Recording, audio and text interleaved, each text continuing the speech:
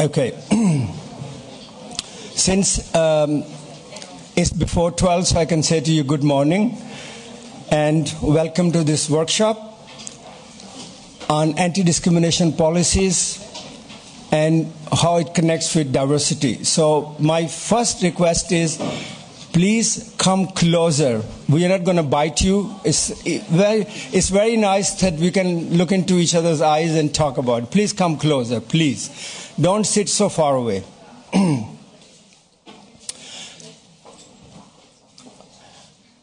I know. I, uh, well, these are reserved for you. okay. My name is Bashy Quraishy, and I would be chairing this session on the issue of anti discrimination.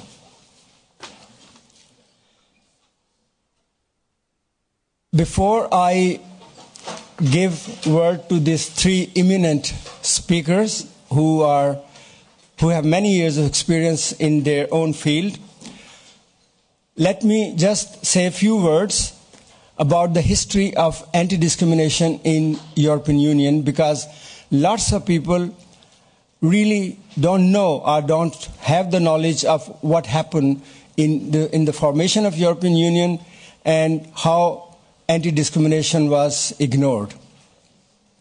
You all know that European Union started as a community for cooperation, be, uh, you know, uh, between two countries, and it evolved into economical development, and later it became European Union. But most of you will be wondering why European Union until Amsterdam Treaty never had one word in any EU treaty, uh, EF treaty about anti-discrimination. Not one word. Even on the labor market issues, the social charter of European Community did not have protection for ethnic minority workers who were coming from other countries and living here. And that situation was so terrible that many NGOs and individuals, among them Jan Niessen, who later became the, the chair of Migration Policy Group, we were going from one country to another country for 10 years, from 1986 to 1996, just to convince any country to take this issue up with European Commission and Council of Europe, and didn't work. But in 1996, luckily, the Irish presidency helped NGOs and asked us to come up with three lines, no more, no long speeches, just three lines, so that they can recommend to Council of Europe, uh, so the Council of Ministers. And that is how the Article 13 in Amsterdam Treaty came about. It was a long, hard struggle of people from NGOs who made this happen. It was not European countries or Commission or even Parliament who ever thought of that. So when that article became the part of treaty, then the Commission realized that NGO could do some good work, and then they asked those NGOs, please get together and make a network so that you can give us some feedback from the ground what is happening with anti-discrimination and the protection of minorities. And that is how my organization, ENAR, which is European Network Against Racism, was established to give advice to the European Commission. And later you will hear a little bit in more in detail what ENAR does on the anti-discrimination. But Article 13 became the father and the mother of anti-discrimination in European Union. And the 2000 directives on equality and discrimination comes from that. And then in Lisbon Treaty, it became Article 19. So I think it's very important to understand what has been missing and how it became what it is today.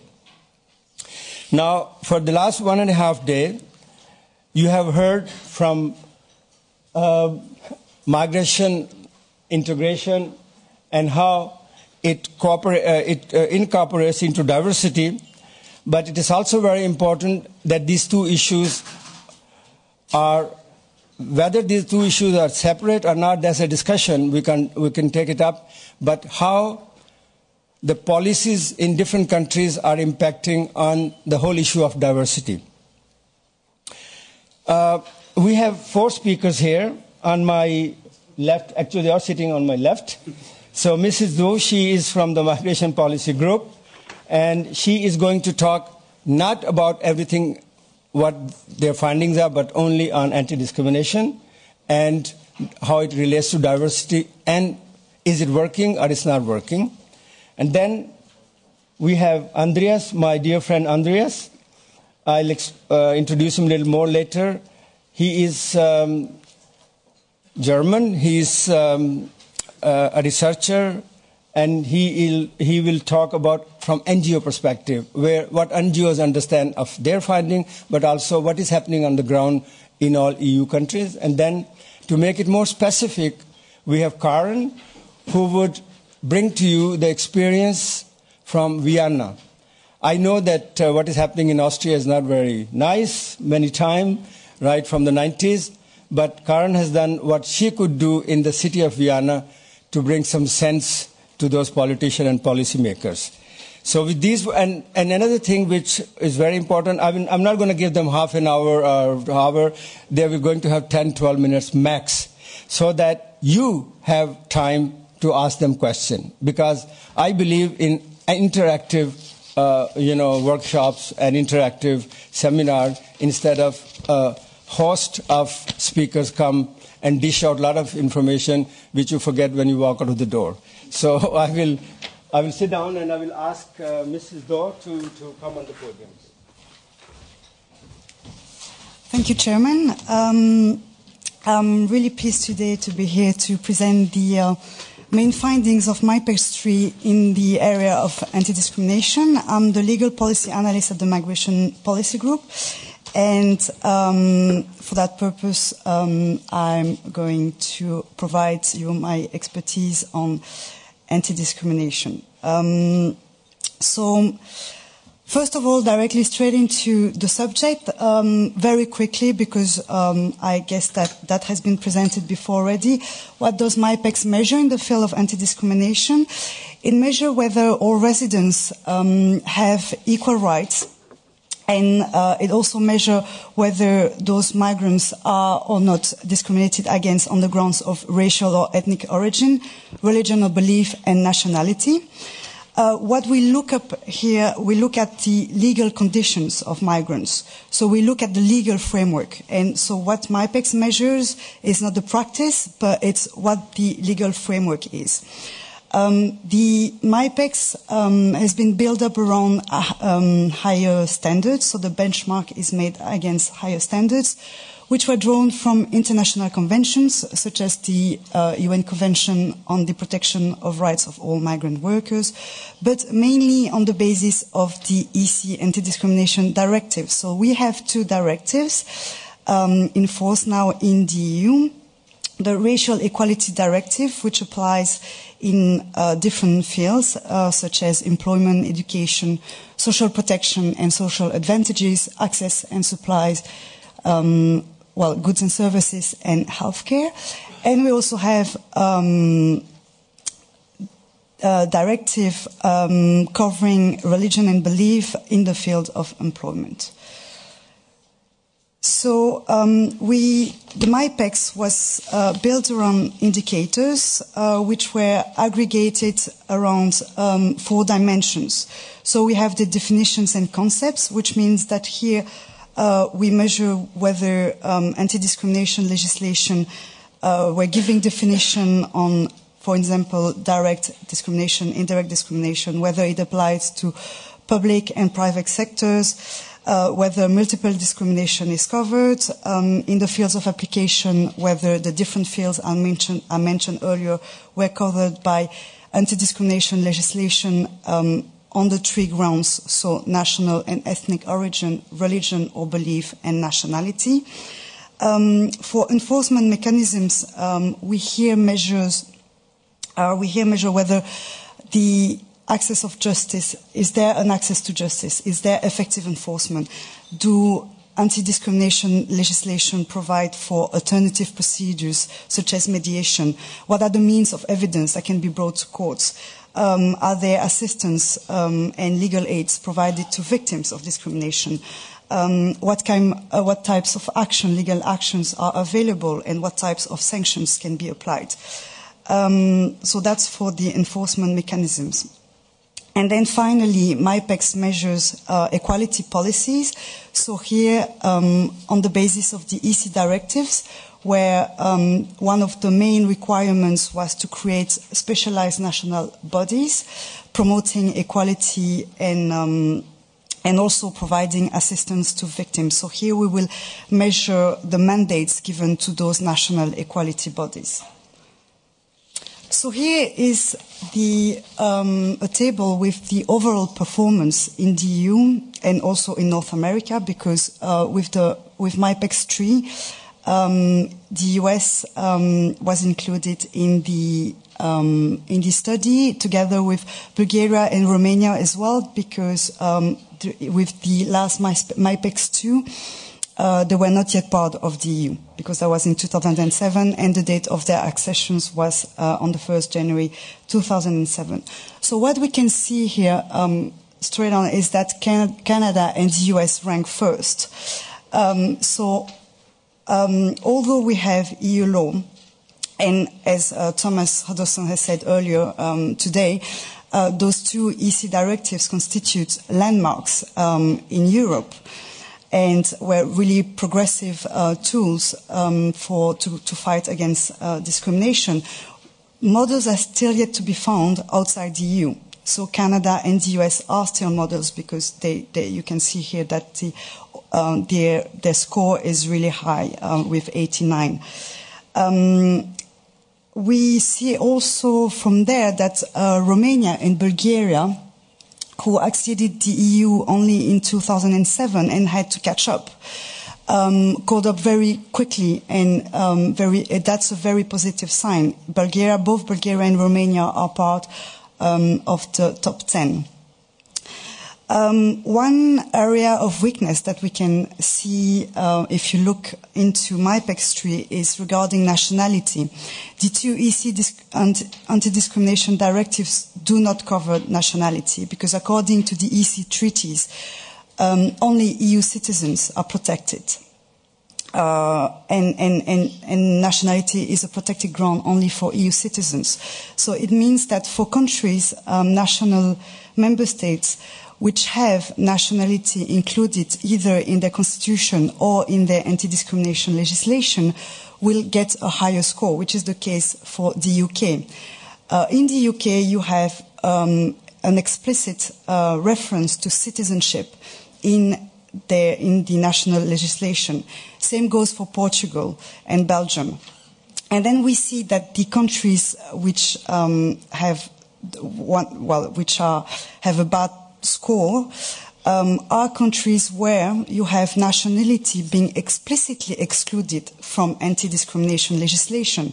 That's the case for Malta, that's the case for Italy, Luxembourg, and Greece. And you see that they're among um, the, the, last ones in the ranking.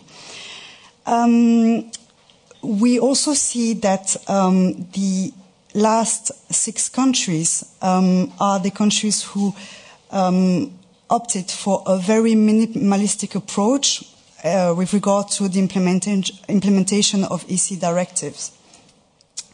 Um, if you look here, um, since 2000, since 2000, with the adoption of the anti-discrimination, directives, all countries have slightly or considerably improved legal conditions for migrants. Um, before 2000, 2000, only six countries had um, comprehensive anti-discrimination legislation. Um, all countries had to implement the directives by 2003 for the so-called old member states, by 2004 for the new member states, and by 2007 for Bulgaria and Romania. Here we can see that countries which doesn't have, which don't have a full implementation of the EC directives, namely Poland, Latvia, and Spain, score very badly, and the same for the countries which have opted for minimum implementation, such as Austria, Malta, and Estonia. So here we see how a full implementation of the EC directives can um, significantly improve your score in MIPEX. Let's take the example of Spain, for instance. Spain has an overall score of, um, for the moment, um, 49, which is like far beyond um, above uh, on the national EU, uh, the EU average. So um, there's a new legislation now being tabled. It, it, was tabled at the beginning of the year in, uh, in Spain in order to improve the um, legislation in the area of anti-discrimination in Spain. If we look um, at the areas where, or the, for the indicators where changes will be made, uh, this is already very promising. We see that for the definition of, um, the, of the terms of discrimination, um, for the moment, Spain scores zero uh, because there, there is no definition on discrimination by association, for example. With the new, with the new law, uh, that would be improved, and so Spain will get a score of 50. Uh, same goes for enforcement uh, mechanisms. With the new law, there will be mediation be introduced in the alternative dispute resolution procedures, for which now Spain receives a score of zero.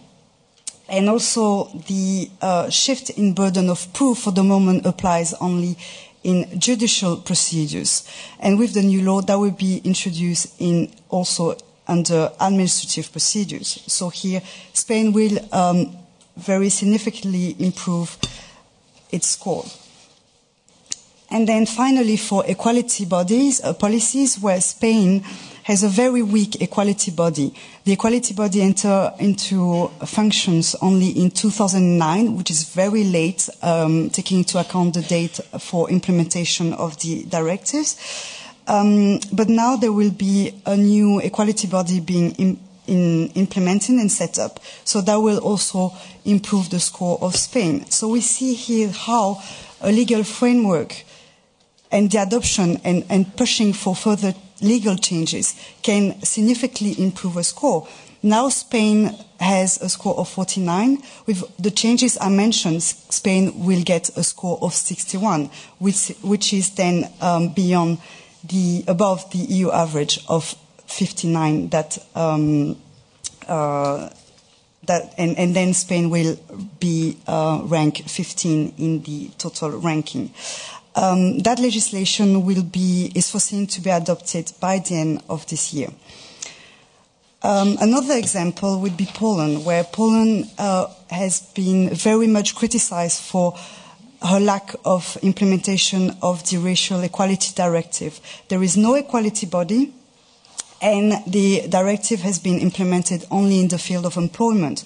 Just looking at the, only the, the changes that will be introduced by also a new legislation uh, that will extend the anti-discrimination um, legislation on the grounds of racial and ethnic origin, religion and belief, and nationality uh, outside the field of employment, but also, so also covering education, social protection, access to goods and services, we see that Poland will get the score of 100 for all those indicators here mentioned.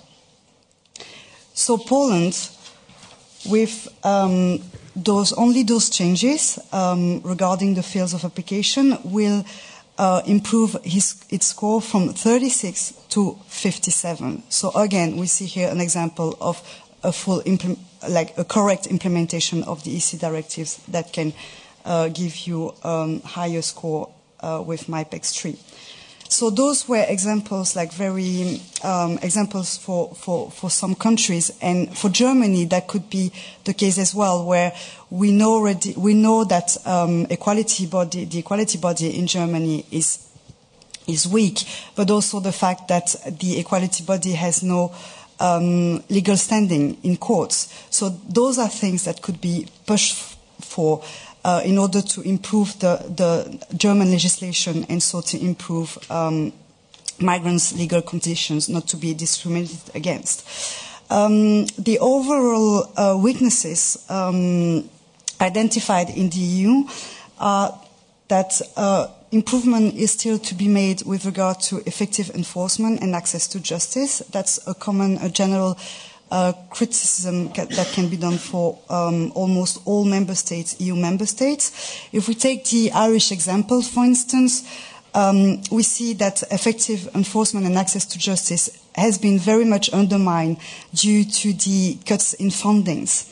Um, we have now in, in, Ireland a lack of financial and human resources, so it means that now there's a huge backlog of cases uh, waiting to be proceeded in courts.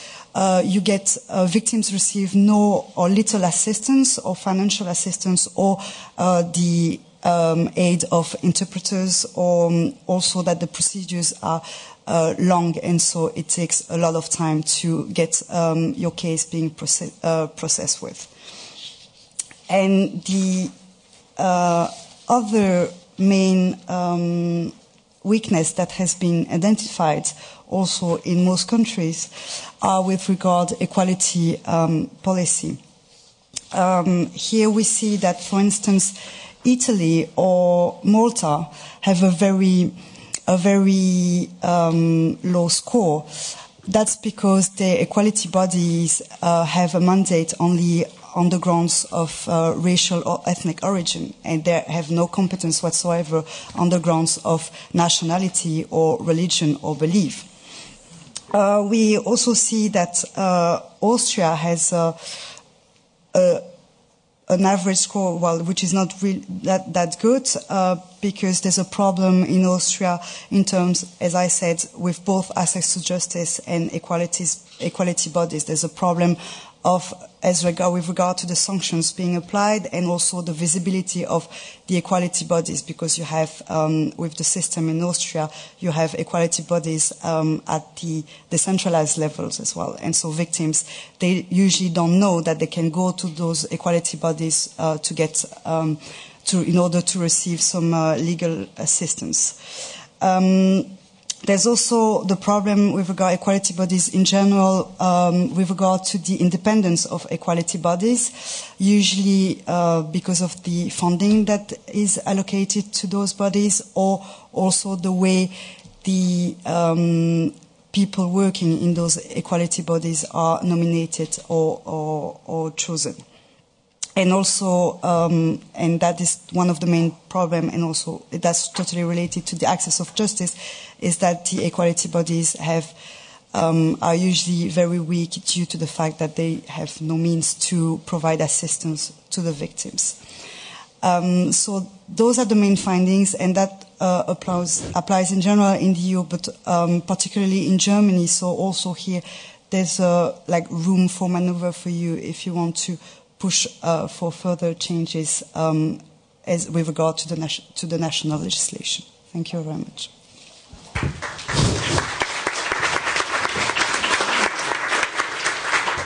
Thank you for sticking with the time and giving a good overview. You know, Andreas, your turn, please.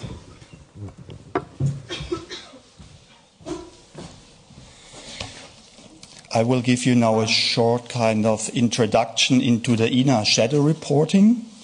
And Bashy already talked about a little bit about ENAR, so I won't talk about ENAR itself, but kind of the shadow reporting system we have implemented over the last, let's say, nine years. And then the second way, I will give you some results which basically go in line with the MIPEX results. And thirdly, I will give you some recommendations of the report. Uh, the ENAR shadow reporting uh, was introduced in 2009, and uh, ENAR is a network of 700, about 700 NGOs all over Europe in all EU countries. So we have a wide range of network organizations which can give information and transmit information uh, from the ground. And uh, on Monday, that's why I have the first pre-release. And Monday is uh, the International Day Against Racism, and there will be the launch of the European Shadow Report, and as well the launch of 27 national reports in each of the countries. So we, you will get more information on Monday. So look in the press, look on our website, enar-eu.org, where you find further information about your specific country and uh, uh the EU report. So as I said, we published the shadow report since 2002 and tried to improve the whole system since then. They are a compilation of grassroots data co uh, collected by a large network of NGOs. The shadow report, why it's called shadow report, it explores the shadows, that's why we call it like that, of the official policies which are normally highlighted. So you know the image is policy and governments highlight their policies in a good light and we look what's in the shadow there, what they don't talk about. So it's based on 27 national reports. The countries are basically similar to the MIPEX study, but without, of course, Norway, Canada, the US, and Switzerland. But we have uh, kind of, because Croatia is going to join the EU, we already have incorporated Croatia. So there's an interesting report on the situation on Croatia coming up this year for the first time. We report in similar areas as the MIPEX studies. That's employment, labor market, education, and it's always under the perspective of anti-discrimination.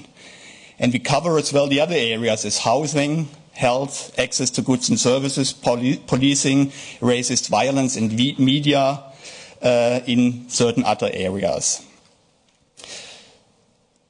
Policies like family reunion, political participation, long-term residence, access to nationality are covered under topics as well. So we have a different structure of reporting the system, but always under the perspective of anti-discrimination. The shadow reports, they report on vulnerable groups. So we describe the groups. We don't measure like MIPEX do. We describe more from a grassroots perspective.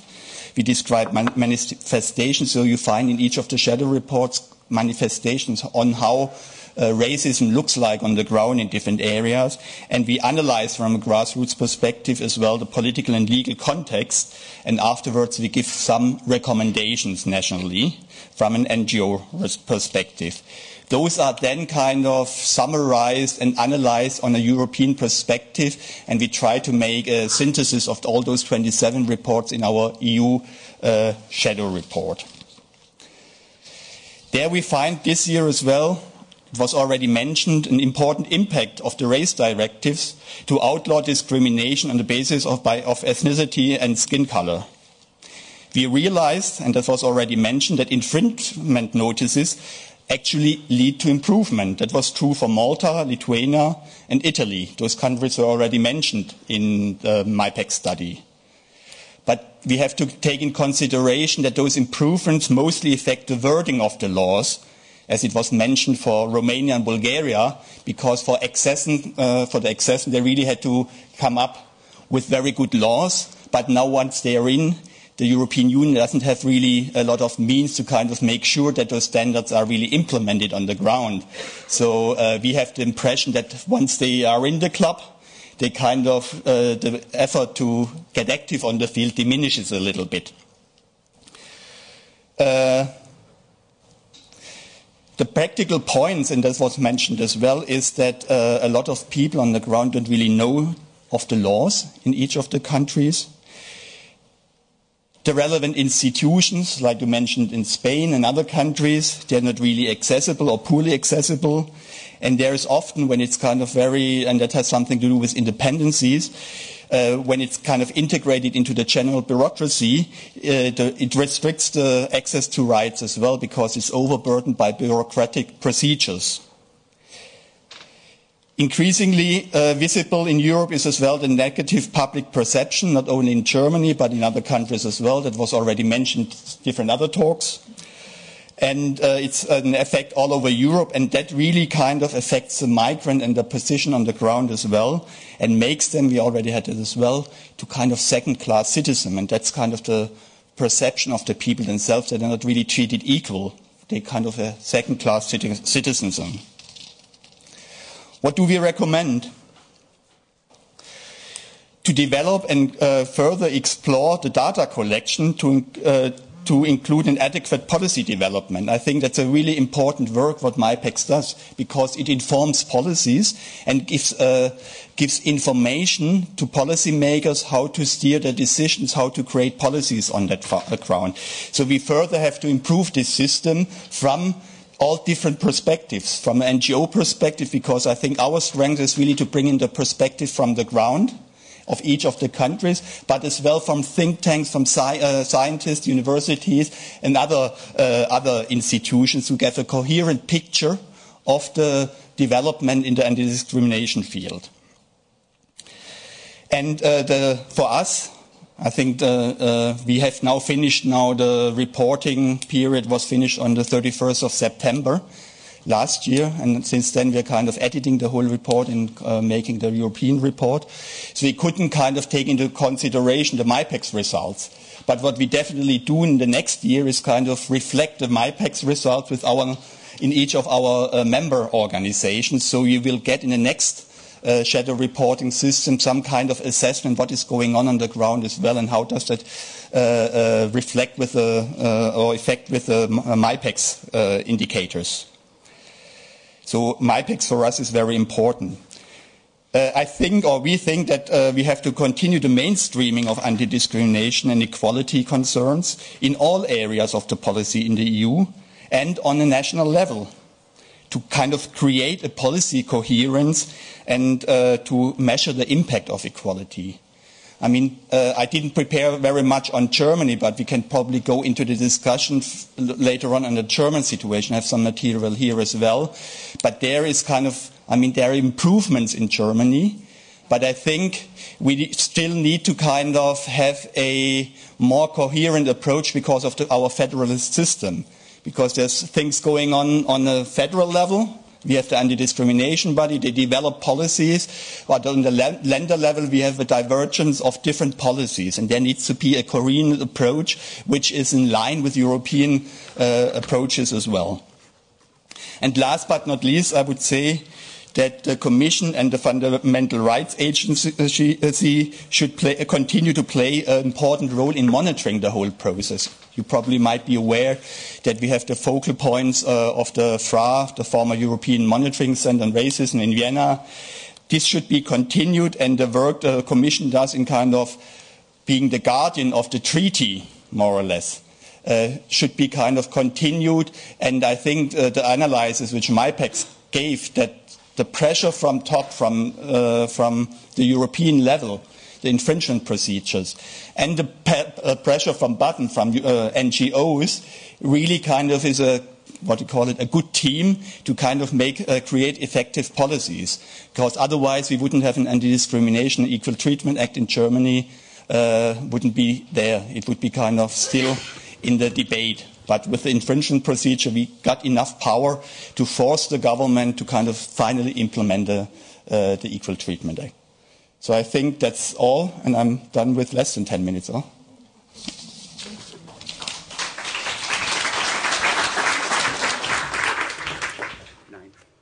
Thank you, Andreas. Uh, we have a lot of questions to you, so you will have uh, enough time. So, and now is the Austrian Thank you very much for having me here and being able to give a statement from the part of the city of Vienna and also relate the MIPEX results to Austria. Um, we heard that the case is rather a poor one, and this, of course, I deplore very much.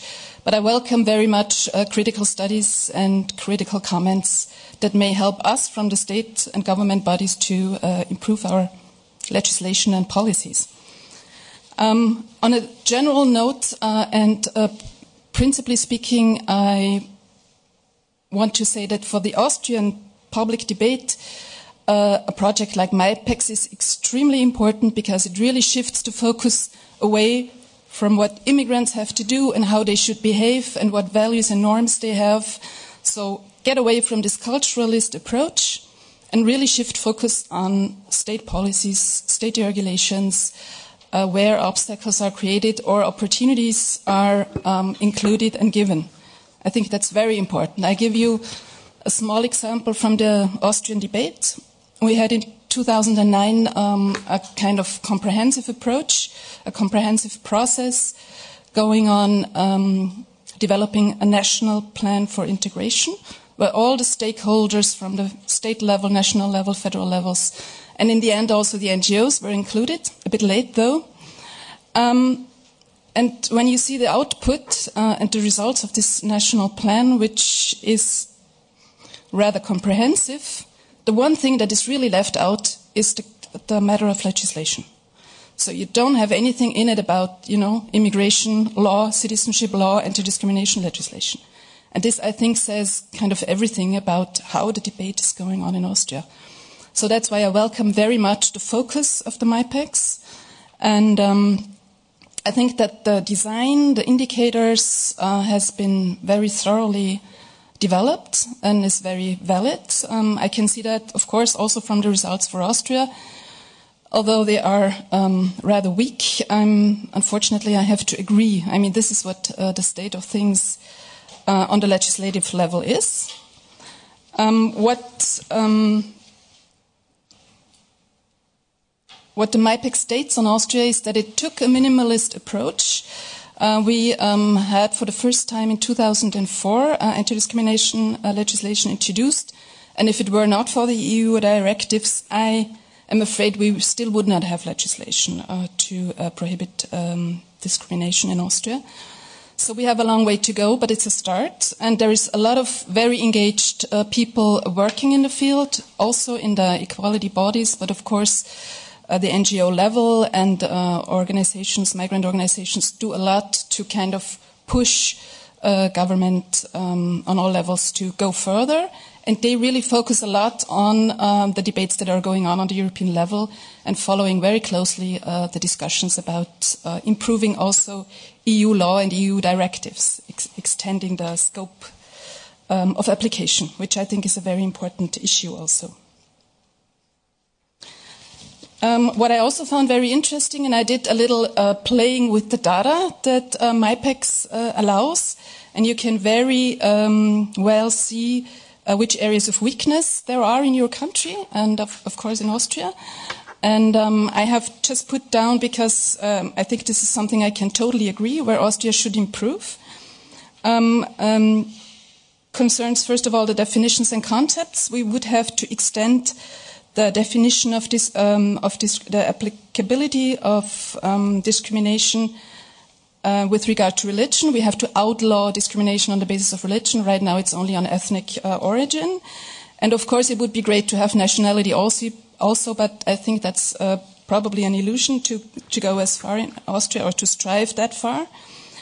Um, we should have the, um, include the concept of discrimination by association. So if you are the spouse or the relative of someone who is discriminated and ha you have advantages yourself, that this is also uh, covered by the law, I think is very important.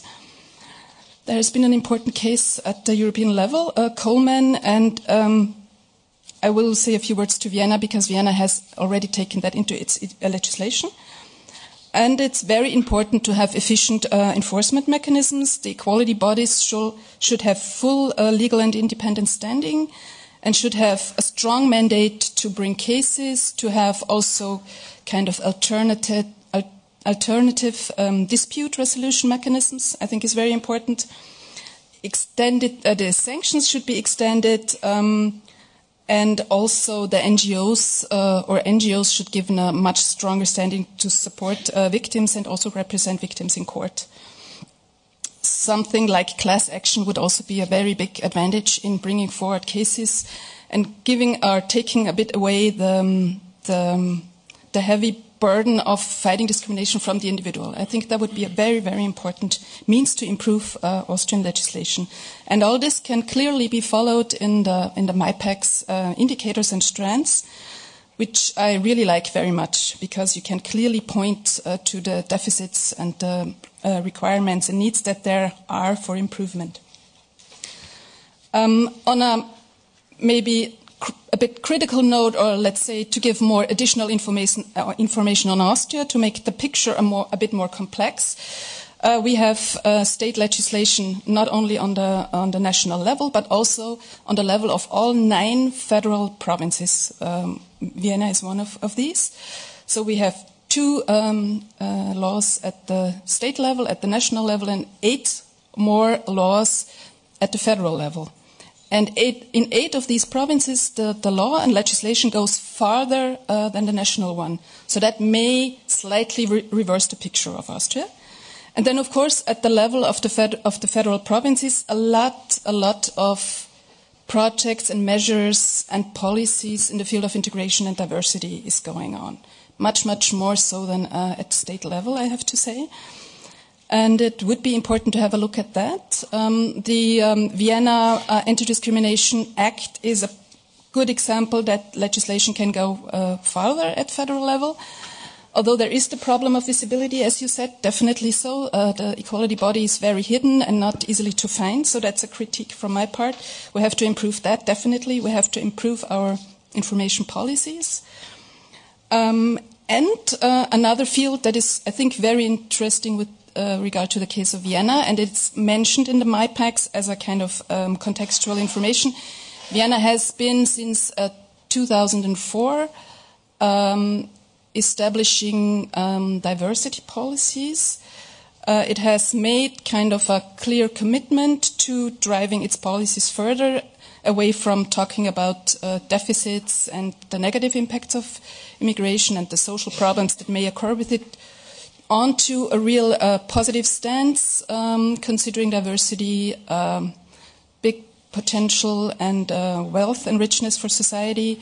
And of course, it takes a lot of action to make sure that these potentials can uh, be, um, that the individuals and also society can uh, make use of these potentials.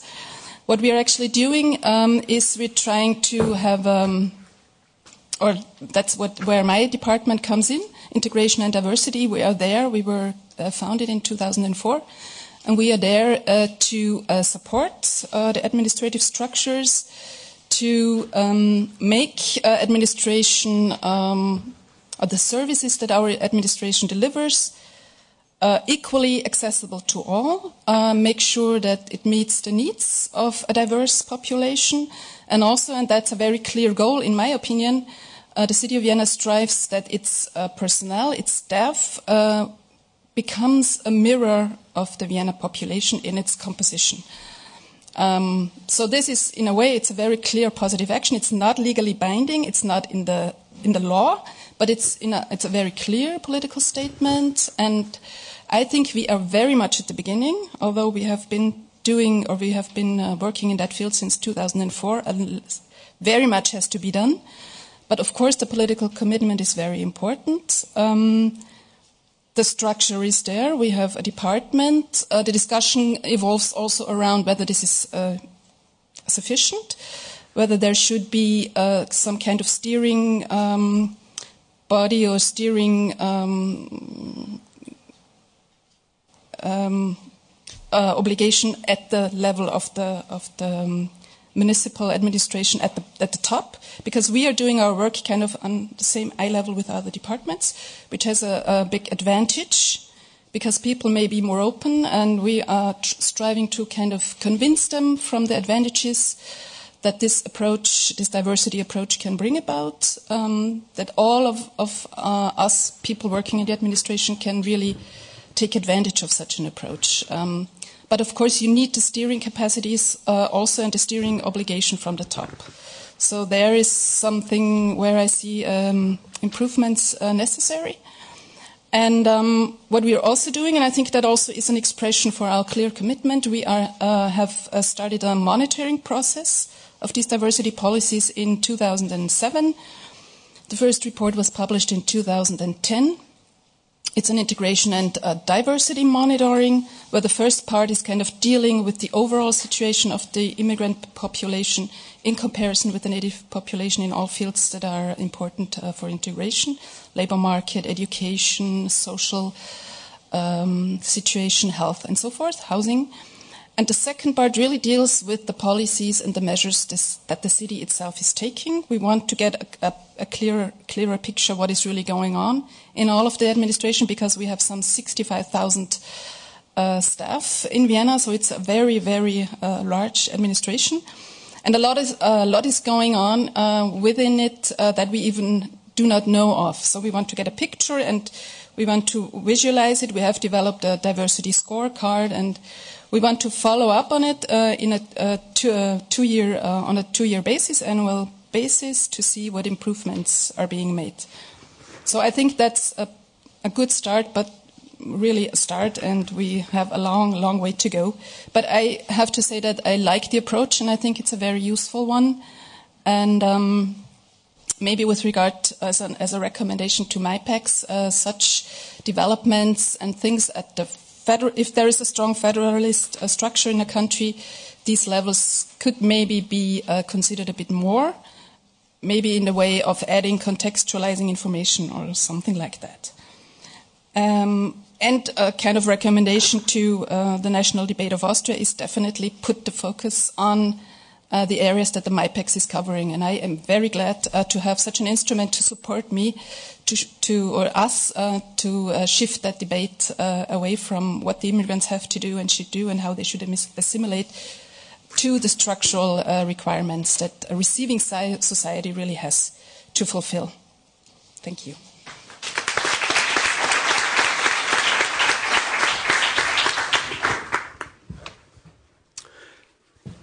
Thank you, Karin.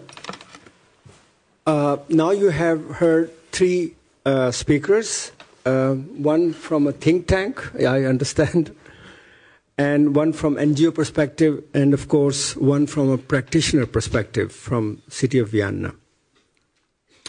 It's a pity that uh, the, the man we should have been asking a lot of questions is not here. The, the Director General from DG Employment, uh, Mr. Holthuis, couldn't come. Um, and, and I think that um, that makes uh, a debate a little bit more one-sided. I would have appreciated if he was here, because there are a lot of things the commissioner and the EU Commission could explain, which uh, normally, you know, people in our position is very difficult to to uh, to talk about. But having said that, I think there are two couple of things which I wanted to uh, the speakers to highlight. One thing is this whole issue of diversity because uh, if you look at the, uh, the, the, the, findings, you know, it's very little connection between anti-discrimination policies, practices, and how does it impact on the society, and how does it hinders the society to be a diverse society. And when I talk about diversity, I'm not talking about eating doner kebabs or listening to Bob Marley. You know, that is not, uh, in my eyes, uh, you know, the case of diversity. What I understand uh, the idea of diversity is that the majority societies not only acknowledge that Europe is no longer a monocultural, monoethnic society or continent, but also that states actually proactively promote anti-discrimination policies and they include equal rights on all uh, levels uh, of, of, uh, of the society. And they should also give concrete support and be responsible when things don't go right. And that fits very well, unfortunately, with what is happening in Europe today. Out of 27 EU countries, 19 countries have right wing governments. And when I say right wing governments, I mean anti minority governments who are absolutely not in the mood to listen to what Commission says or listen to what NGOs are saying or even listen to the morality and ethics of society and how society should be run. And that is why you have heard uh, both uh, from think tank and from NGOs that there is a great lack of willpower, political willpower, that there are many politicians and political parties, for them, anti-discrimination is a city in Russia. You know, it just should not be touched. And I think that it's, it's a sad thing because if Commission comes up with fantastic directives and they come up with fantastic guidelines. But if on national levels, there is all the efforts to not only not implement them maximum as the directives ask, but to the minimum levels, but also to raise barriers that the implementation and transposition is barely visible. That is a problem for us, you know. And I think here I will uh, open the, the floor and uh, take one or two questions at a time.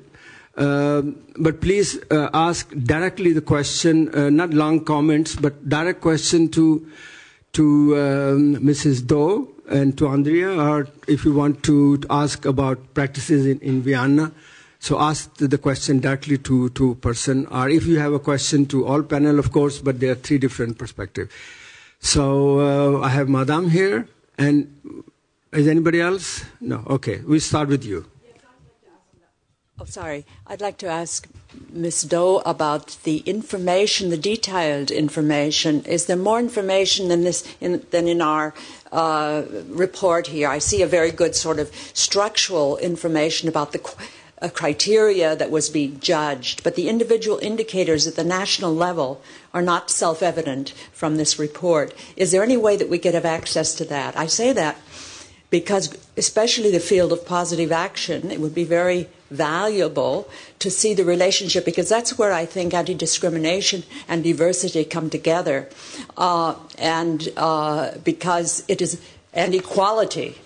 Um, we do have some work in Germany that, despite the weaknesses of the anti discrimination legislation and uh, for the individual and all the barriers that have to be uh, overcome to be able to bring your case to court because people are not well enough informed, because they do not believe that this system works. They've been used to discrimination for so long that they don't try because they don't have a support system, etc., etc. Despite that, a diversity uh, approach is potentially a larger base for long term planning and uh, a protection from discrimination to begin with if we really set it like the Viennese have talked about setting it and we're trying to do in Berlin.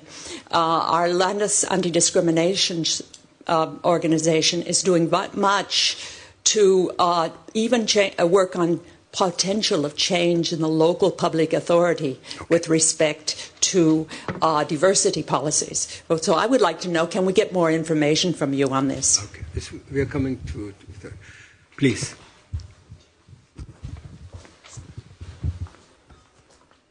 Yeah, I have a question concerning uh, certain types of employer behavior and how they should how they should be considered.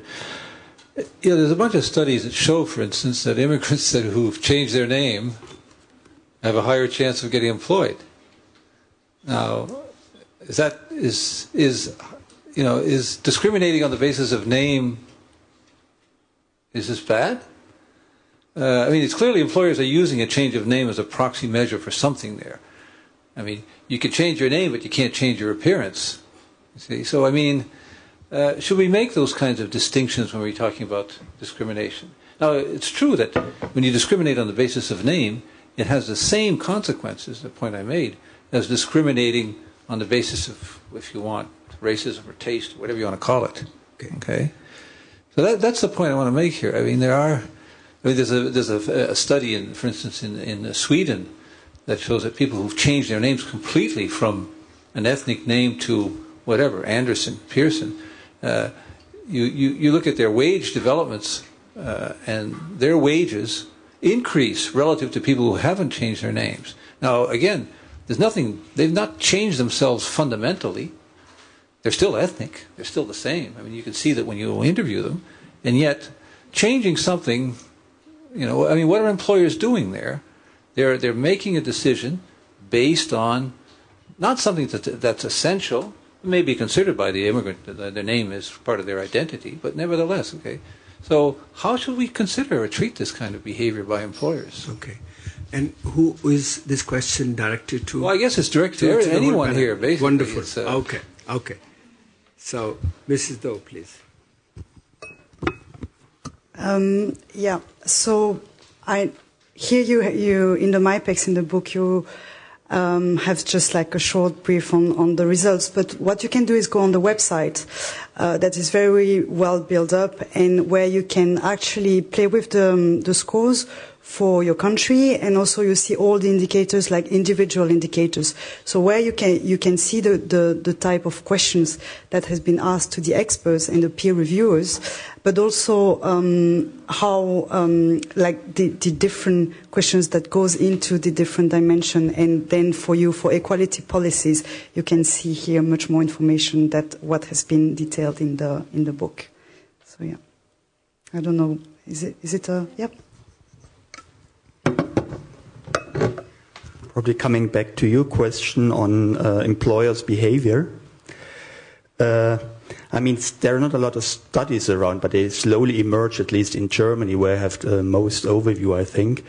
Uh, and there has been a study similar to what you presented from the University of Constance, which exactly had the same results, that those who have an ethnic name, Turkish, basically Turkish name, got, I uh, don't have the figures in mind, but get dramatically less employed than uh, others with German native names. Then, I think the problem there is uh, I mean, there are different strategies I think people have in dealing with discrimin- discriminatory behavior, and kind of changing your name is a very defensive, individualized approach. So we have stories collected where people say, "Don't write my Turkish name on my business card." He was an architect because if there is my Turkish name there, so he made up some firm, uh, some enterprise name, because if they see my name, I cannot buy windows with uh, at the window sellers, or I cannot uh, go to a carpenter because then they treat me differently.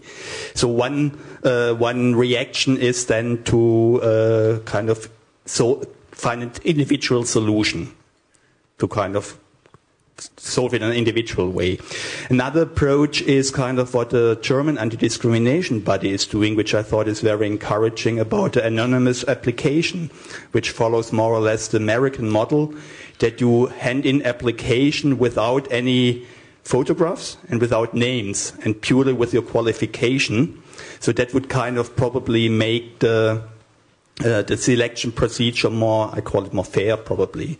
But I think uh, the problem you're referring to is kind of, I mean, uh, it's a problem of big firms who have, let's say, 2,000 applications for one job and then they have 10 jobs to uh, give.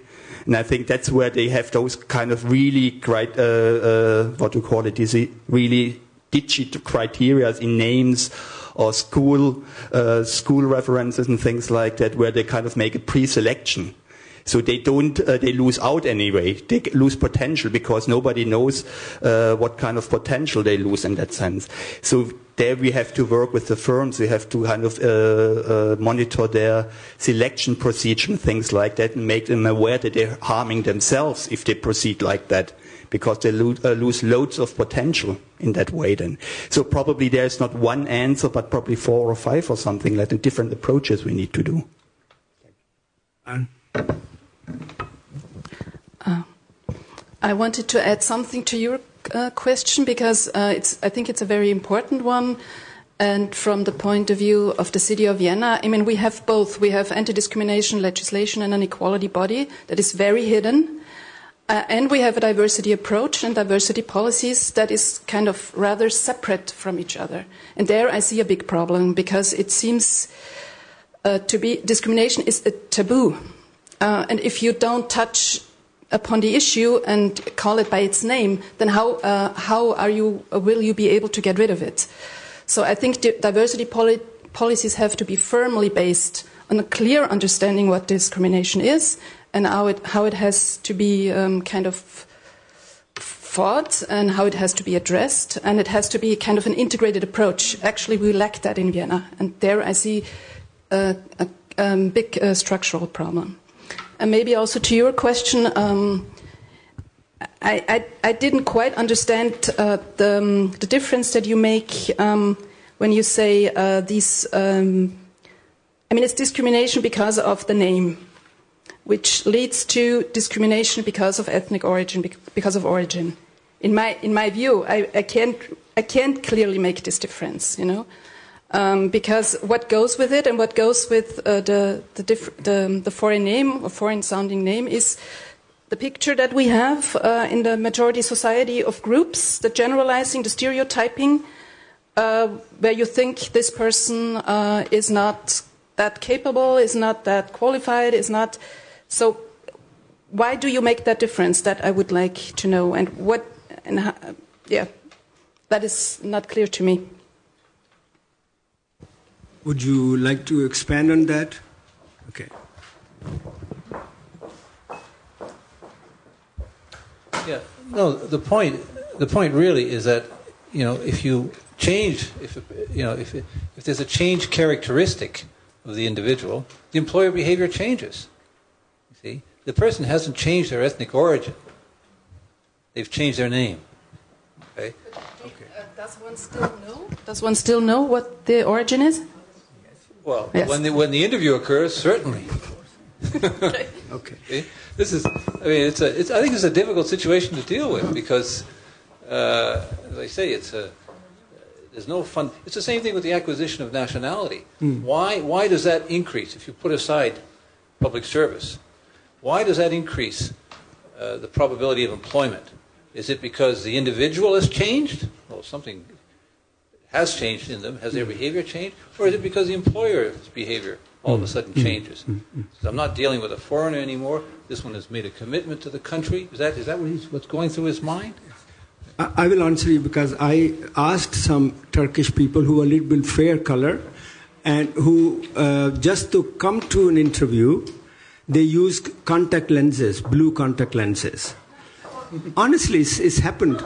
And that the first hurdle that if an application comes where it says Muhammad Chelik or Bashy Quraishy, they will just throw it in the dustbin. They will not even entertain it. So some people who have good qualification, who wants to just to come to the interview, use this tactic. And once they come in there, then the employer has to interview them.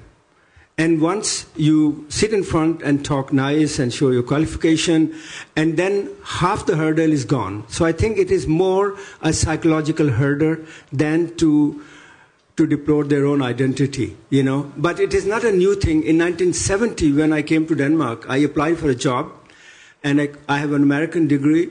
I came to this guy, and he looked at the, my degree, and he said, "Mr. Quraishy," and this is exactly what he said: "Your qualifications are okay, but you have a wrong color."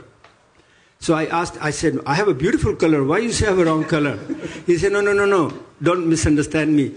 The problem is that we have not invited people like you to work as engineers. We have invited people like you to come and wash our dishes. And this, uh, you know, mindset is very still in the employer's mind. And just to get this to, to that hurdle, that is what that tactic is being used. That is my understanding from that. Uh, Yeah, I, I would also like to refer to examples that we can find in other countries where you have um, diversity approach um, that have le- led to um, the adoption of codes of conduct, for instance, where the employers are well committed themselves to um, for recruitment procedures, for instance, to to to to implement diversity in their own company.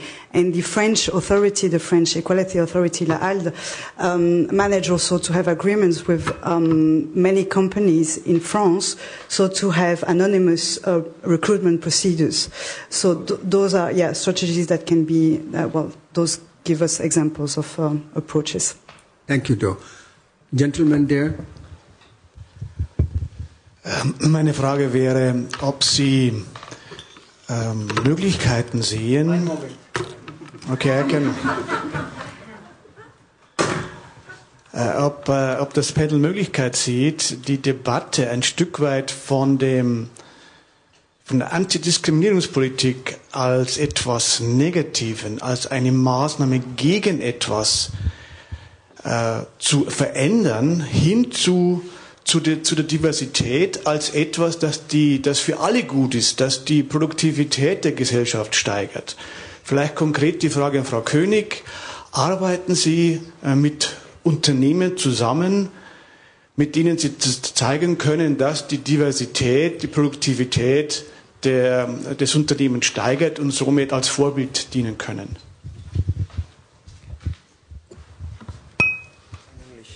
Yes, of course, I will answer in English. Thank you for the question. Um, that is what we are trying to do in Vienna. We try to kind of uh, uh, we try to change the paradigms that we have in our uh, situation uh, in Vienna. Um, promote um, diversity as a positive concept. Promote it as something that is has gains for uh, the whole society. But um, in practice, um, of course, you have to face structural barriers, structural uh, problems. You have to ha- you, you have to deal with negative aspects, of course. Um, so I always find it difficult to to make or to to uh, overcome that gap somehow. Huh? Because diversity policies can only be efficient if you have a firm, firmly, firm equality policies. And if your understanding of that is very clear, because I cannot say diversity is very nice if, I don't know, 30% of the population with an immigrant background or even more um, are in a very disadvantaged social position. You know, I mean, that does not go together. So we have to go, I think, a very long way uh, to, and this I think is, is, is, the topic of the whole conference, how to enable social mobility for those who are in a more uh, disadvantaged position. And then you can celebrate, I mean, it's not a, a, a, linear process, but one and the other uh, um, is, is uh, dependent from each other and you can't uh, celebrate diversity if you don't look at the social um, inequalities. So, and uh, we do not yet uh, work with firms, I, I, have to admit, because in our own um, administration there is so much to do. You know, we can't, we cannot yet be a positive example. We cannot say uh, this is what we have found out and this is the gains that we had, and very much or very often you cannot even uh, measure it in economic terms. You know, on the short run and the mid run, you have to invest. Yeah? Because there is social inequalities. Uh, I cannot say, let's celebrate diversity and then we are even getting more wealthy, maybe in the, just in one step. That, that's not possible, in my opinion. The interesting thing is that many employers in Europe, once they employ ethnic minorities, they're very happy because they don't drink so much, they come in time at work, and you know they, they're very happy. And even in my country, Denmark, uh, one, there had been survey where employers said we were very skeptical. But once we had a good experience, then actually they were discriminating the Danish, you know, in, in hiring ethnic minority workforce because they were a very stable workforce. So this basic hurdle is a big problem. Not once you get into to workforce, you know, uh, they intend to stay or they stay, you know. Okay, so uh, yes, I, I have first the lady there with the red sweater. Um, I have a question for Mr. Hieronymus. Uh, last night I read in the news that uh, there was a change in the Ausländerrecht in the Bundestag. Uh, there was a new decision about the newly arrived uh, immigrants that they have to pass the integration course exam in order for their residence permit, Aufenthaltserlaubnis, uh, to prolong. And uh, so, actually, I'm interested in your opinion. How can you comment on it, and to what extent this uh, is going to uh, to have a negative impact then on the newly arrived immigrants? Thank you. And a lady there, please. I would like uh, to add an aspect concerning social mobility. Um, for example, if you look at young Turkish kids here in Berlin, I take care of a teenager, a Turkish boy, teaching him German in my flat. And uh, I'm training him to get rid of his typical Turkish accent, although he has been born here in Berlin, of course, has been living here for 18 years already.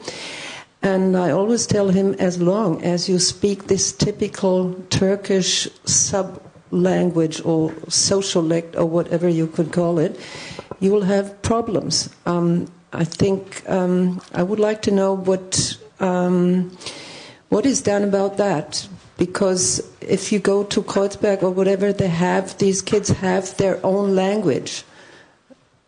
Um, yeah. Okay. I'm coming now. We're having many hands. Just a minute. So. Uh, the first question was to you. Uh, I don't know if it's a difficult question, but I think it's one of those what you call the conservative dilemmas they try to solve even Germany.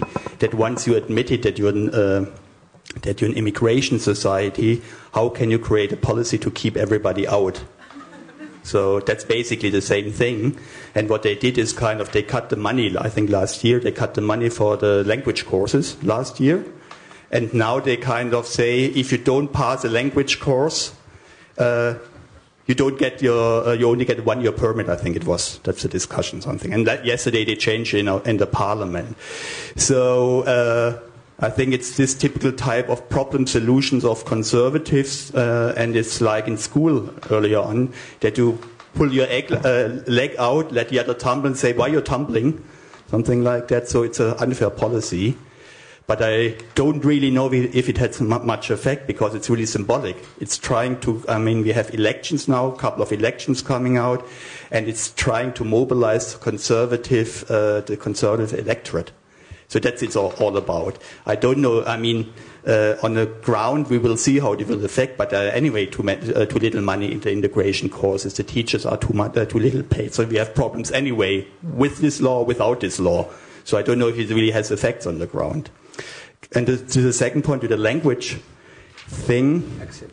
to the accent, I mean, that's what you come across that a lot of people, if even if they're uh, kind of uh, professors at university, that uh, kind of, I always say, the national identity of Germans is not a nation state in one way, it's their language and it's Bildung, education. So there, uh, if you don't speak uh, German in a specific way, you always will have problems. On the other hand, we are a country which lives from very diverse dialects, socialects, and things like that. And if you see, uh, for example, we did research in Hamburg about language acquisition of um, in multicultural areas young people create their own language. And that's what we kind of listen probably in public transport. So the problem uh, probably is not like that, uh, okay, if you talk like that, it's not very uh, useful if you want to get a credit or if you want to get a job. But they have a right to use that language in a certain area, in a certain remit. And what we need to do for language acquisition is to kind of enlarge the way, like everybody needs to learn, you need to uh, communicate in a different way with when you are in a bank, when you work in a workplace, when you're talking with your mother, when you're talking with your uncle, and things like that. So probably it's about kind of how do we communicate in in, uh, in certain areas and not about good or bad communication. It's about appropriate communication because it functions. It has a certain function among youth groups. And I think that's totally leg legitimate. And we cannot go about and say, no, that's not the proper German you're talking. But what we need to learn is kind of that it's not appropriate to speak like that when you're applying for a job or if you kind of are in school or things like that. So probably this differentiation of domains in language to have a feeling for that. So that's my personal opinion now.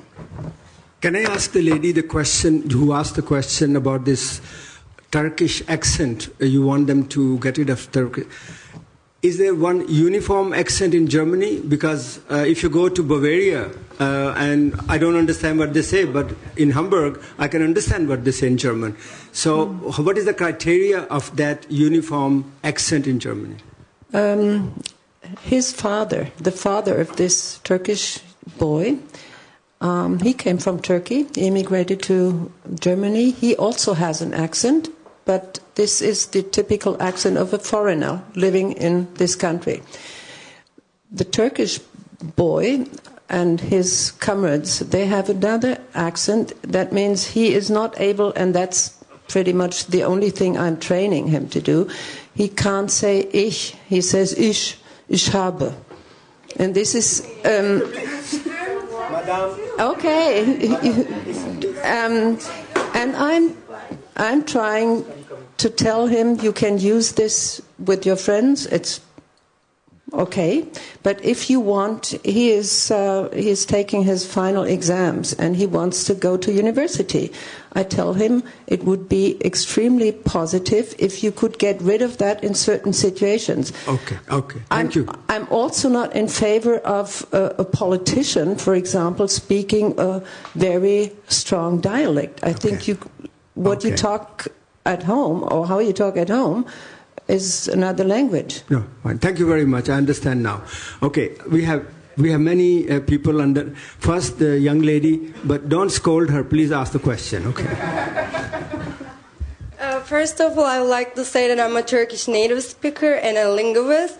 Uh, my comment to this uh, thing, I really have to make it really clear that uh, accents are the accents are like part of the identity. It makes people what they are. So we can't really uh, force people to get rid of their identity. I think it's so wrong, and it shouldn't be this. And uh, the other questions, what I really wa- like to ask is like, what is a standard language? Who is really like speaking the standard language? What's standard German or what's standard English?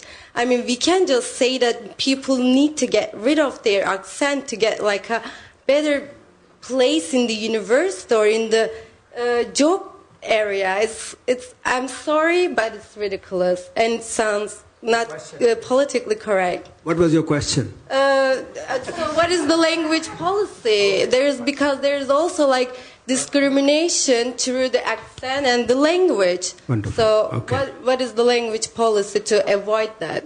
And it's to Mr. Andreas. Yes. Okay, wonderful. One minute, there's other question. The gentleman there, yes, please.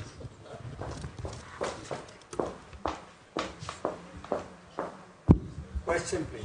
Yeah, no problem. I've been boiling on this one for a while. So, um, question is specifically for Ms. Do, and it has to do um, with the um, MIPEX and whether it integrates any parts of citizenship and becoming a resident or a citizen in the country itself. Um, and the example that I would use maybe is asylum seekers coming to Germany and the high percentage of them that are often without real a real answer, pretty much just sent on their way. Um, I think, I mean, that may have something to do with discrimination in my mind as an American. So.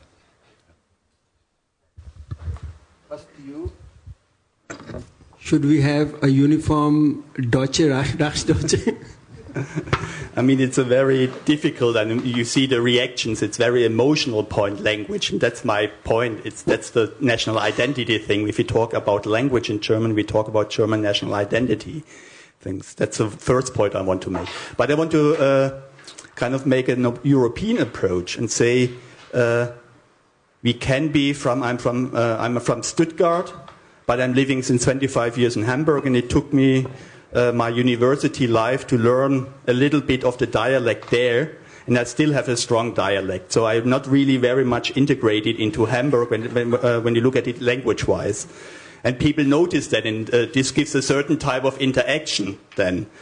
But on the other hand, kind of, I uh, do a lot of work uh, on a European level, so it's necessary to learn language, uh, to learn English as well. And I don't share the French approach that the whole world is speaking French. So uh, we have to kind of find a pragmatical way of communicating with each other. And my personal opinion is Italian would be ideal because you only need uh, hands with that, so you don't need a much thing. That's now a stereotypical type of thing then. But we need to have kind of this. Uh, I mean, she, uh, in one way, she is right. I would defend her a little bit. We need those different ways of communication for certain domains. And if we kind of, uh, we need to develop English knowledge, we develop German knowledge, we have to develop mother tongue knowledge, and from, uh, from early childhood uh, education, we know that you need to start off in an education in your mother tongue, whatever that is in, at home. And then you have to build on. So we have to kind of really make a, a multilingual language policy or something like that, which, which uh, shows respect to every form of communication, more or less. That goes beyond kind of just language. It goes beyond uh, uh, kind of difficulties, for example, what autists have. Autist people, they have a lack of uh, in communication. How do we deal with such? Not everybody is a communicative person, things like that. So we really have to think about this approach. How can we enable everybody to participate in a discourse, in the public sphere? Okay. I think that uh, we are going a little wee bit outside the discussion we were having, even it's a very important issue, but I think it's very emotional, so it will be very difficult to have that long discussion. Madam, it's okay, we are not attacking you, we just... Uh, the... Okay.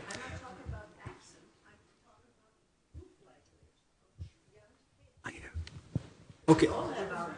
Okay. Okay, thank you for the clarification, of course, of course. Uh, Karin, uh, no, okay, shit.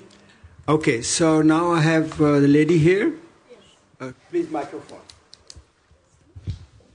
Oh, sorry, oh, so, yeah, sorry, first, uh, yeah, okay. Yeah. Uh, so concerning citizenship, of course, MIPEX 3 uh, measures that. So you have um, indicators regarding the number, the number of years a migrant needs to be in a country before getting access to citizenship, and, and that it's captured by MIPEX 3. Now, for uh, more specifically regarding nationality, as I said before, anti-discrimination on, on the grounds of nationality is very, is something very um, where, where member states till now have uh, are, are, weak on the results because nationality is not protected in all countries of the EU. Um, it is citizenship is as I again I, am repeating myself, but citizenship has an explicit reference in the UK, but not necessarily in the other countries. And also, um, one of the main problems is that. Um, the line between nationality and then ethnicity or ethnic origin can be very thin. And so, depending on the interpretation given at the national level, uh, for instance, in Sweden, um, nationality could be interpreted as overlapping with um, ethnicity. So here again, we, we, it's uh, at, at, the national level, it, it, it, can differ, and, and then that's why um, the discourse are different from one country to another. Yes, my name is Felicitas Hillmann, University of Bremen. I have a question to Vienna because you said that you introduced in 2004 your diversity policies, right? And I would like to know which measurements or which Maßnahmen, which things you did worked best with the minority population and which worked best with the majority population, if you could make a differentiation there. Uh, we take one more question, is okay? All right. So I think there was a lady there. know, this your name is here. Uh, your your your appearance is here. Uh, yeah, there's there was this there with the lady with the glasses and behind. Yes, um, sometimes discrimination is not so open. And yesterday we talked about school situation, and that maybe there are some discriminating active activities, but not so open in school. That also. Uh, teachers are not prepared to use diversity in class as a potential, but see it as a problem. And also, it was said that teachers are not prepared really to to uh, to tackle this. So, uh, my question is also to Mrs. Koenig. You are talking about public administration. Schools are public institutions. So, so in your work, have you done some activities regarding this uh, topic?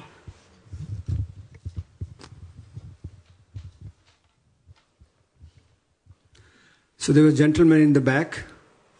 Yes, please. Microphone.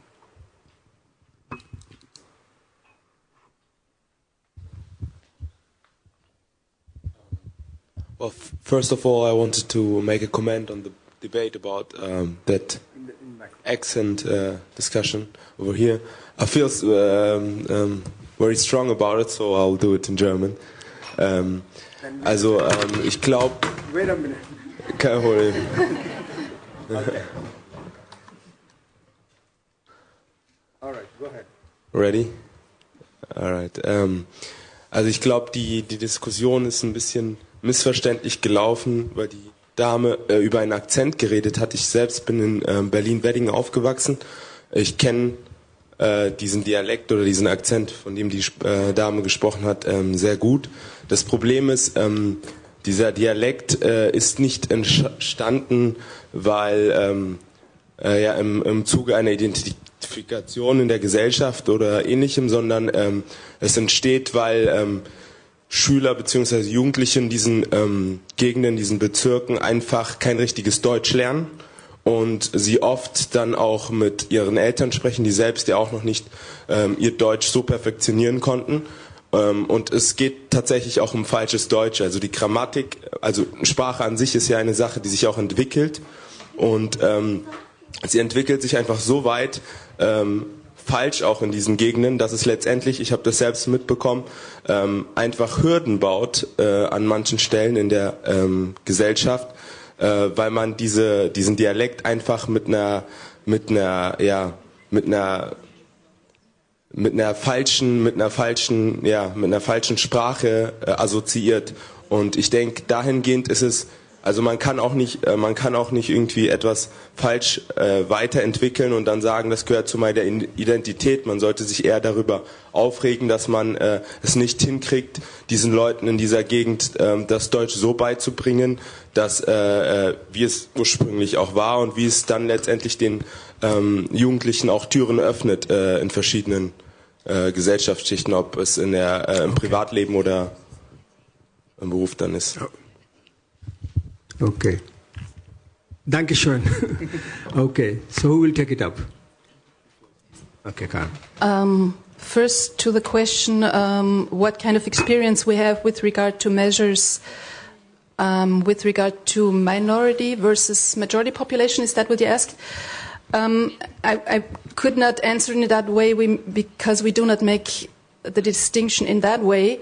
Um, what we do, I mean, our measures for welcoming people who come to the uh, country newly are, of, is, of course, a, a special uh, kind of, of um, measures uh, to welcome uh, people, to give them information and orientation.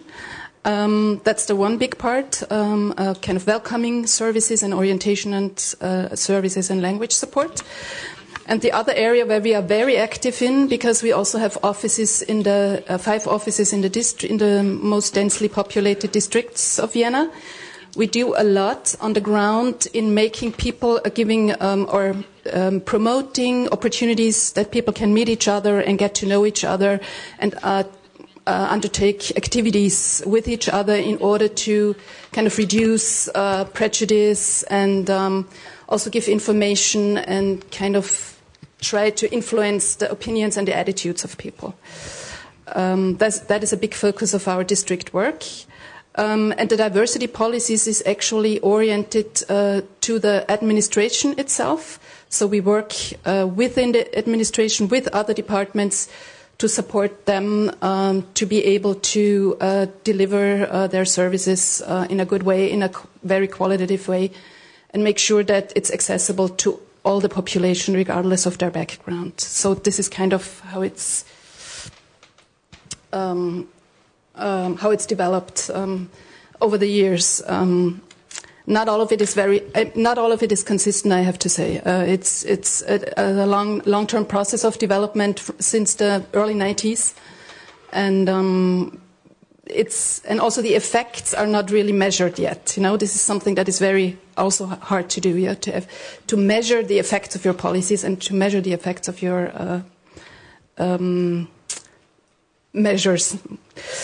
Um, the second question was about school uh, and diversity. This is not really our within our competence, but of course there's uh, a lot uh, is going on. It's basically federal competence. So the Stadtschulrat uh, uh, for Vienna is taking care of that, and there's um, there has been a lot of initiatives to uh, change the curri curricula in school, you know, to anchor intercultural uh, education, uh, to to make sure that education is uh, for uh, pupils um, with many different backgrounds, that it's not, you know, cent centered only on uh, a certain view and. Um, there is a lot of support also language-wise uh, going on in the schools so that people are, uh, uh, pupils are also uh, supported in learning their first language, their mother tongue. Uh, and many projects where things are kind of um, uh, tried. And the problem of recent years is that resources have been cut, and also this additional support with teachers has been cut. So we have a lot of increasingly problems in schools, which is rather deplorable deplorable because in the 90s it was always said that school is one place in society and especially in Vienna where integration is really working well, you know, because it's uh, rather uh, a place where all come together and the aim is kind of uh, the same and the budget and the resources were there and things were kind of moving in a good direction. I'm certainly, uh, certainly there were problems also. But now there's a, ra a rather big backlash, I have to say, and this okay. is deplorable. Thank you, Karin. I am just handed over uh, a slip which says 10 minutes remaining, and now actually it's 8 minutes remaining. So I have a lot of people um, on the list, but there is only room for one or two more questions. And um, I would ask first uh, the gentleman here. Yes, uh, the microphone, please. Short, precise question, please. Okay, no long comments. Um, um, uh, we have been hearing these um, studies, um, statistics for the past one and a half days, and they're fantastic. But I have a concern here. I mean, my concern is do these studies reach the public? Number one. Number two is do they reach the people who are, who are in concern, the immigrants themselves? Are, are they aware of all these um, um, findings we have? Because this is very important um, that uh, we reach them. And in order to reach them, what are the channels? And this is a question to um, um, our speakers, but also to, to, the audience. What are the channels, that, uh, the channels that we should use in order to reach these people, or we should create in order to reach these people? Um, my other concern is we have been talking about the people, the immigrants. We are talking about them. We are talking for them. Um, and we are making policies for them, but they are not actually involved in making these policies. And sometimes these policies do not meet their expectations. And what I want to suggest is that um, in, in such a meeting, I think we should have one of these people who are accused of being genetically deformed to come here and speak about, um, about what they think, what their expectations are, if these policies will meet their needs or not. Uh, because I think these, um, what worries me is that these studies will end up in, they are um, policy, they inform policy, of course, but how long is it going to take until they inform the policy or the policy makers? And my worry is that they will end up on a shelf collecting dust. So okay. we need to do something with these things. Thank you very much for this very important question. We'll come back to the. And the last, this gentleman here, again, you wanted to speak? No, not long because we don't have time for comment. That we can do in the lunchtime, you know. So uh, if you don't have any question, because uh, this question the gentleman asked has uh, very long answers from. So I will start with you. If you have any comment on that and then we go to the side. Yes. Okay. Well, thank you. I mean, it's a very important question, and of course, it's it's rather directed to you than to us. I mean, we produce the the MIPEX, and as as as far as we can I, mean, to the extent we can present it to, to the outside world, is also for the civil society to appropriate the, the, tool to themselves and then reach the migrants themselves and also the decision make, makers and, and then to influence policies. I mean, it's, it's the use that you would do with MIPEX 3 rather than what we did with it. I mean, we, we, we continue to, to, to work on it, but it's for the advocacy you, you build up upon the, the tool that we produced. So the question is rather to you, how can you reach the migrants then? Very smart move. Okay, Andreas. Uh, could be a long discussion how to involve the people and how to change public discourse. Uh, I think one point would be, of course, uh, kind of being electorate. I mean, if you give people the citizenship and have the right to vote, immediately discourse changes because you have to run for their votes. So the policy will be kind of changing in one way because they lose out votes. And so that's what we kind of see slowly happening in Hamburg. More, more people of migrant background are in the parliament, for example, since the last election, the highest number ever. So things will slowly change. That's on the one level. So I think kind of if people have voting rights, that what Mehmet Kilic said, immediately the political discourse is changing as well because they're not object anymore, they're subject of the political discussion. So that's very important in my point of view. The other thing is a long-term perspective, and that's what ENAR is working on. We currently, in our new work program, we uh, try to work out how we can change the narrative in Europe about migration. And that's a big problem because in our reports it's clearly stated the narrative about migration, about migrants, about minority people in all countries is kind of very, very uh, negative in that sense. So how can we find ways uh, as a civil society movement and we have uh, different minority and ethnic minority people in our organizations, from Roma, from Jewish people, Muslim people, all the all the uh, different uh, strands, and how we can be involved in in a process to to develop a narrative which they carry and where they are enabled to change this discourse in their constituency, for example. That they can stand up and uh, kind of in Romania, Roma people about arguing about uh, discrimination in school, that they kind of really are empowered to kind of bring forward their point, to say, I think your policy is just shit. Thank, thank you, Andreas. Karin. Uh, thank you for that uh, very important question. Um, as far as I know, uh, MIPEX, or the Migration Policy Group, and its partners, is um, actually planning a lot of activities and events in all the member countries.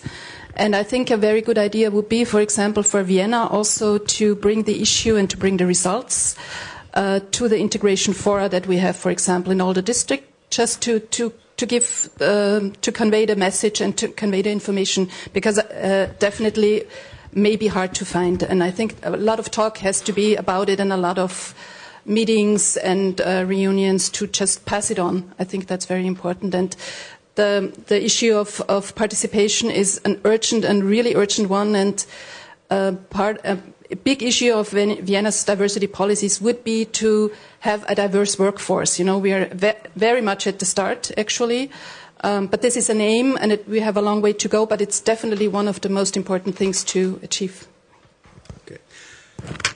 Well, on that very positive note, uh, I would really like to, to thank all the participants and the speaker for their valuable contribution. And I will promise you, this gentleman sitting there, excuse me, sir. I will promise you that from in our side, we will make a small report based on weaknesses and strengths, and we will make a campaign to in all 27 countries where we have coordination. So we are not going to let them sleep very nicely, believe me. And uh, I personally, on my on my own personal capacity, I'm working with two large international organizations, NGO organizations from Turkey to to uh, to Baltic countries, and I travel a lot, and we will take it up in the coming few. And that is our job, to have people who are victim of, of discrimination to have their voice in heard. And I hope that Stiftung also will, you know, have this campaign wherever they can, so that the victims are empowered and not only the intellectual and professors. Thank you very much for the interest.